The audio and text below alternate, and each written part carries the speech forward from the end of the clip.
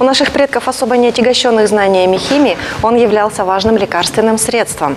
В нем объединились все питательные свойства растений и уникальные вещества, которые вырабатывают только пчелы.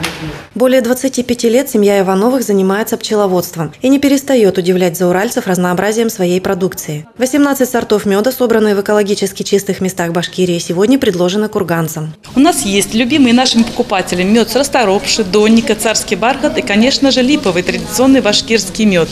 Особым спросом в этом сезоне пользуется мед с прополисом. Он хорошо усваивается организмом и повышает собственный иммунитет человека. У нас также проходит акция. При покупке одного килограмма меда, второй килограмм меда вы получаете в подарок. Приходите, мы будем очень рады видеть вас на нашей выставке.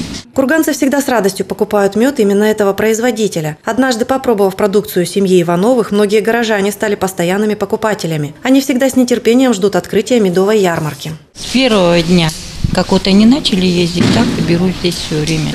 На всю зиму и до нового урожая. И мне нравится. И мед нравится.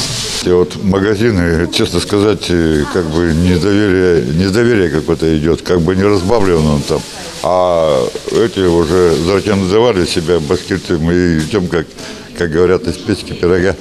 Решила первый раз пришла сюда еще. Вот попробую, понравится, еще приду.